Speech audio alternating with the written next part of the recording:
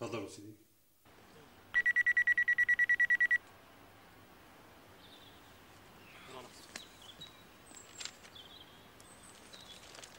ألو؟ ألو مرحبا أبو رائد. لك أهلا أهلا أبو هلا أهلا أهلا. لك فعلا إنك ابن حلال من ظهر ابن حلال. لك شيل هالجريدة من قدامي ولا العمى بقلبك العمى. عا لك مو إلك مو, مو إلك. لا الطبل يلي قدامي. إيه حبيبي؟ شو يلي ذكرك فينا يابا ولو أنت دائما بالبال يا أبو رائد.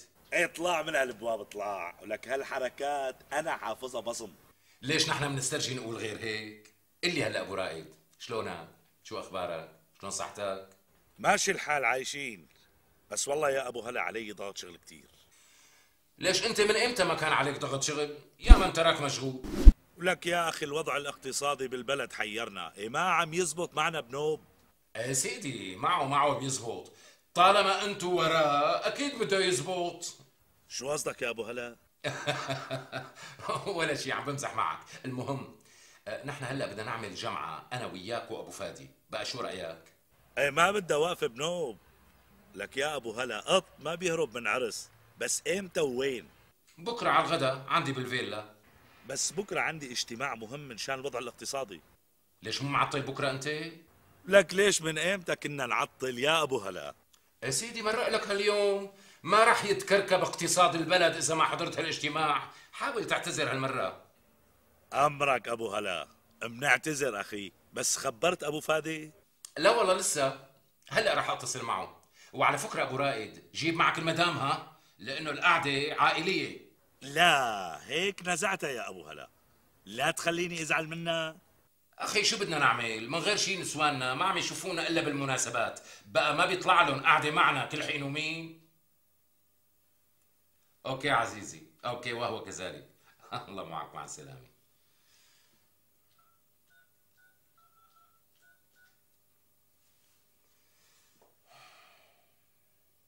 ألو؟ أهلا وسهلا أبو هلا. يا هلا. لا والله عم جايز حالي بدي أسافر على حلب.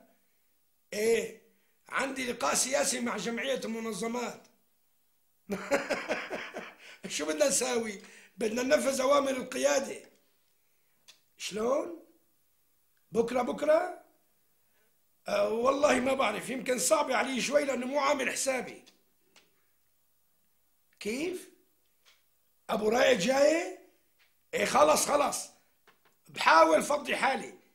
أوكي عزيزي بكرة بكون عندك على الغداء مع السلامة يا أبو هلا. الله معك. مع السلامة.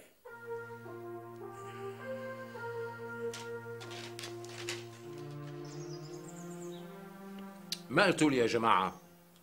عجبكم الغداء حاكم من كم يوم مغيرين الطباخ وجايبين طباخ لبناني. طباخ بنامي إيه قول هيك من أول. فعلا منتصح فيه أبو هلا أنا إلي أكثر من شهرين ما أكلت مثل اليوم. إيه بس هيك ضربت له برنامج الرجيم لجوزي ها؟ أنا بالنسبة لي محافظ على الرجيم. يعني ما أكلت غير نص كيلو لحمة وشوية مقبلات. بحطك بذمتي إذا ما لحالك طلعت بكيلو لحمة. على كل يا جماعة الأكل على قد المحبة. بقى شفت قديش نحن بنحبها؟ يا سيدي صحة وهنا على قلبكم. شو رأيكم يا جماعة؟ نترك النسوان لحالهم ياخذوا راحتهم ونحن ننفرد لحالنا والله على ما يبدو أنتوا اللي بدكم تاخذوا راحتكم مو نحن. يعني بشو بدهم يحكوا؟ أكيد بالسياسة. إيه لا إذا حديث له علاقة بالسياسة ما لنا مصلحة. نحن عنا أحاديث أهم. إيه أكيد أحاديثكم أهم. إيه سيدي شرفوا.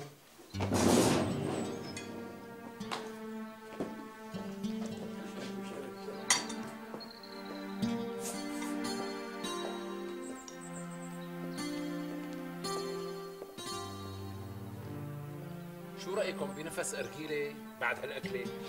برافو عليك يا أبو هلا خلينا نهضم من هالأكل الفظيع.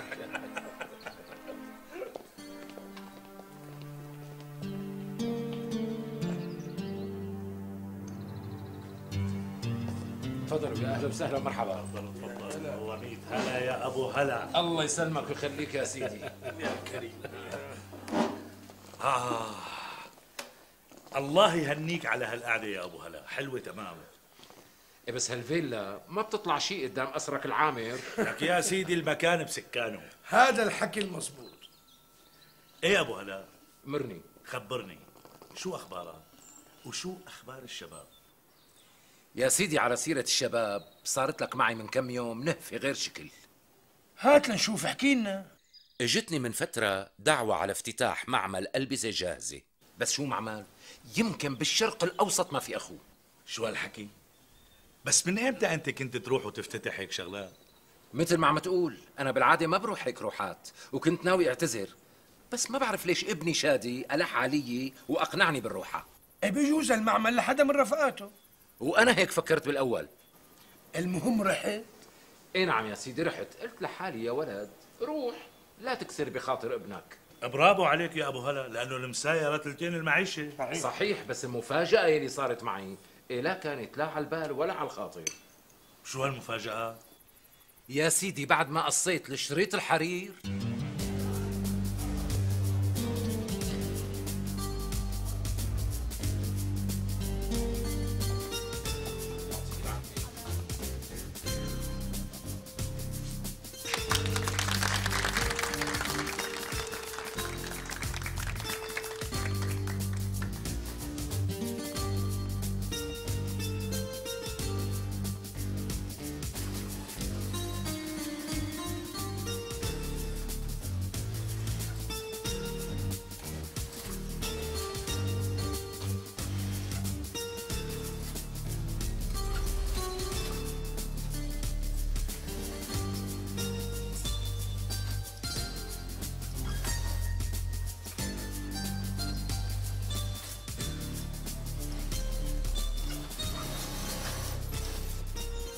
شو بابا؟ إن شاء الله عجبك المعمل. إي والله يا أبني عجبني تماما. بالفعل هالمعمل صرح إنتاجي ضخم كتير. وصدقني قلبي من جوا بيرقص وبيفرفح. لما بشوف هالبلد عم تتطور بهالشكل وعم يصير فيها منشآت بهالضخامة هي. بابا أنت عرفت لمين هالمعمل؟ لا والله يا أبني ما عرفت. وبصراحة صار عندي فضول لأعرف لمين. هذا المعمل إلي. إلك؟ إيه إلي. ليش مستغرب كتير يعني؟ الحقيقة مو بس مستغرب متفاجئ منصعق. لك ليش ما قلت لي قبل هلا؟ بصراحة بابا أنا حبيت أعمل لك إياها مفاجأة. أنا اليوم مبسوط منك كتير. يعني اليوم بالذات حسيت إني عرفت ربي. واليوم برهنت لي إنك صرت رجل. رجل بمعنى الكلمة.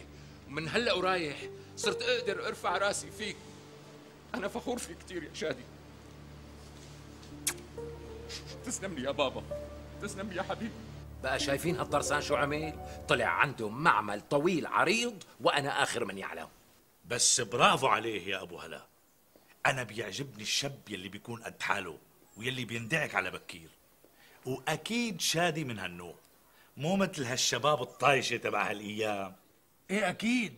واحد صار عنده مصنع بهالحجم هاد ولسه ما طبق 23 سنة. شو بدل؟ بدل على أنه شاب ديناميكي وبيحب وطنه كتير. لا ويا ريت وقفت الشغلة على المعمل. ليش في شي غير المعمل؟ طبعا.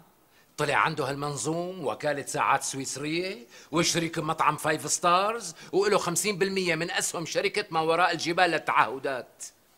إيه ما شاء الله حوله وحواليه. اللهم صل على النبي. شو هالبطل هاد؟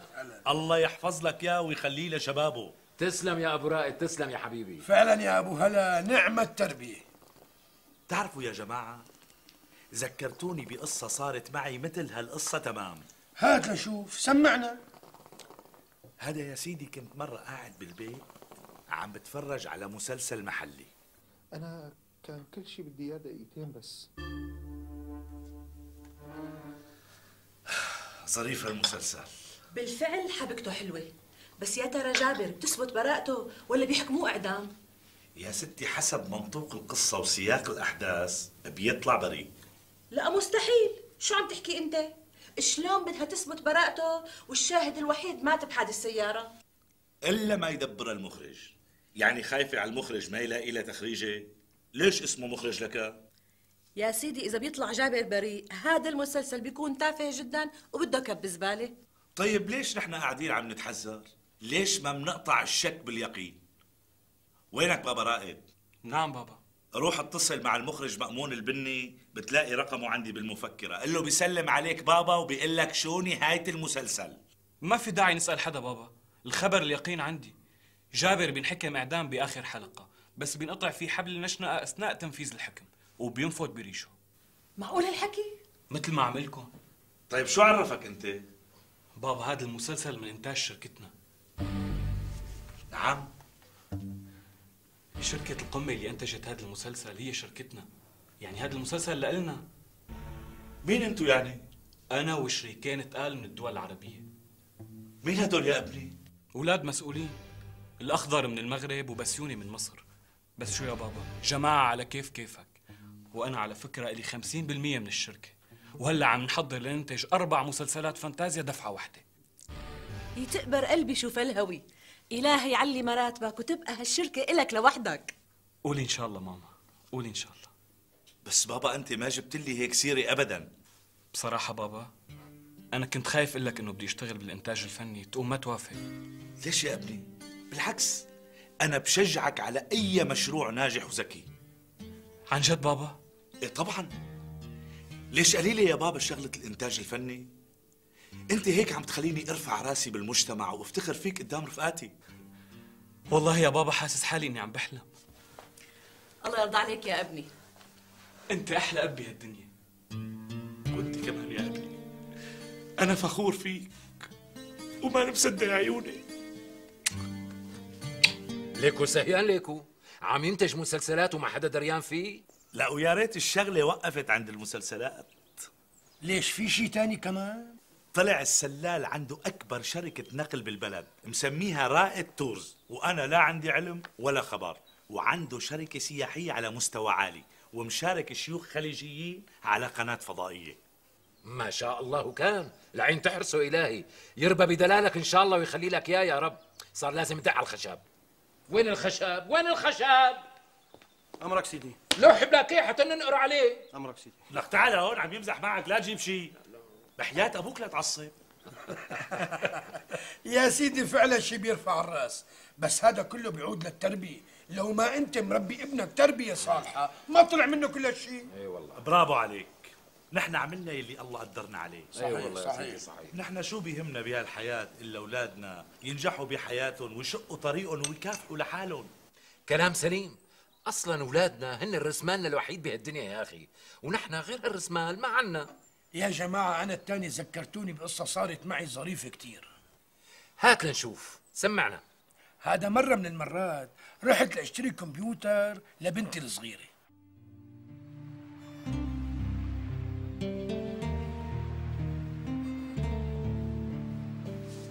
الجهاز صار بالسيارة أستاذ؟ يسلموا ايديك قديش بتريدي؟ ولو أستاذ ما بدنا إلا سلامتك. الله يسلمك بس ما بصير لازم أدفع.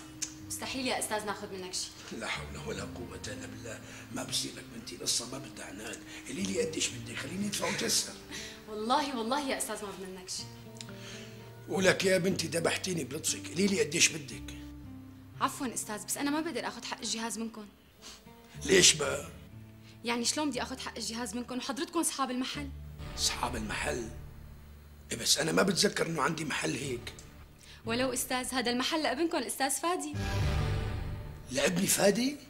نعم أستاذ وهو الوكيل الحصري لأجهزة الكمبيوتر بالشرق الأوسط وعنده أربع صالات عرض غير هي أربع صالات عرض؟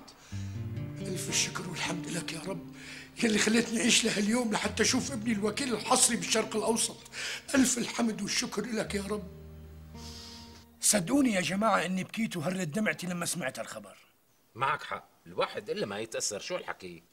بس فعلا طلع ابنك ولد مخبى بثيابه لكن عامل لي وكيل حصري للشرق الأوسط وما حدا دريان فيه؟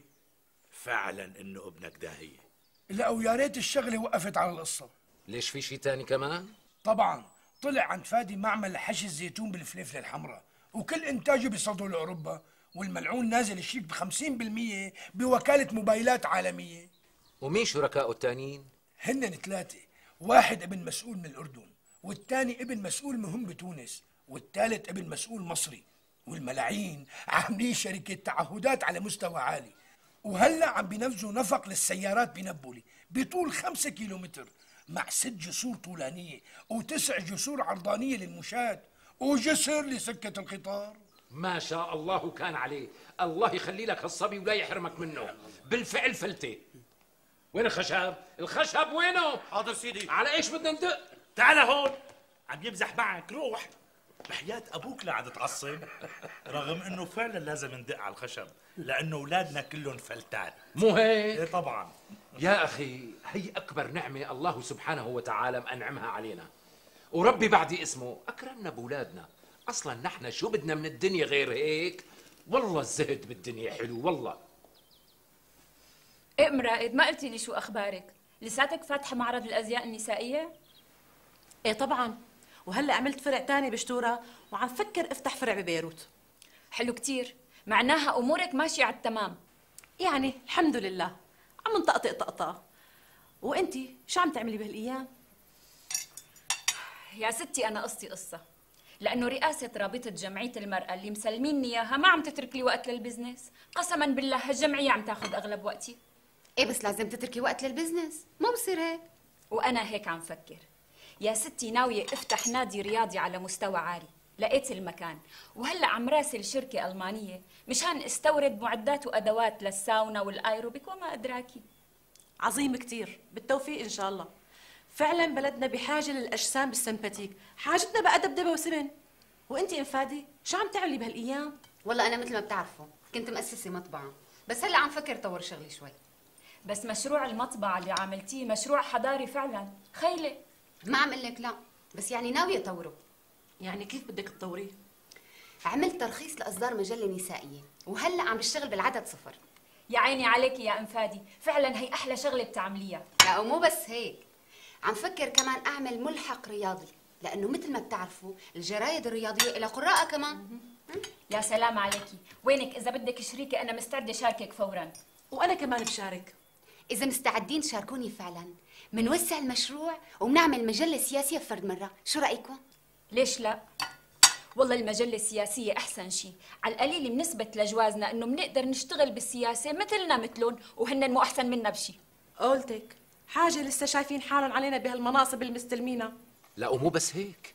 أنا ابني الوسطاني هاني هاني ما غيره اللي عمره 13 سنة عنده هلأ أكبر معمل بوظة وأكياس بطاطا ومعكرونه بالبلد. ما شاء الله حوله. وأنا ابني أمجد يا دوب عمره 14 سنة. عنده خمس صالات ألعاب كمبيوتر وفيشه وبلياردو. يا جماعة أنا ابني تميم اللي عمره 12 سنة. مشارك ابن مسؤول زميلنا. أبو متعب تعرفوه؟ شارين 12 بولمان وعم بيشغلوهم بنقل الجروبات السياحية اللي بتجي لعنا. ما شاء الله هو كان عليه. تخيلوا إنه أنا ابني الصغير كرم. آخر العنقود. الشاش البطون يعني. ويلي عمره يا دوب 8 سنين وشهرين. احزروا هالدرسان شو عامل؟ شو عامل؟ قال شو؟ اشترى معمل لألعاب الأطفال. ولو تشوفوا منظره قديش بيضحك وهو فايت على المعمل عم يأمر وينهي الله يسلم لك يا. إلا مين بده يطلع يعني؟ معقولة؟ اللهم صل على النبي. ولد عمره سبع سنين وقدران يدبر حاله. بس يا جماعة في سؤال محيرني تماما وما عم لاقي له جواب. وشو هو السؤال؟ يعني نحن الثلاثة مسؤولين شرفاء ومالنا لغوصات هيك وهيك وبعمرنا ما فكرنا أو ممكن نفكر إنه نستغل هالمناصب اللي شاغلينا طبعا طبعا يا أبو هلا واعتمادنا الأساسي على هالمعاش اللي عم ناخده مع شوية هالتعويضات طيب أولادنا منين جابوا مصاري وصاروا تجار كبار؟ آه منين؟ فعلا منين؟ لا شك هذا من فضل ربي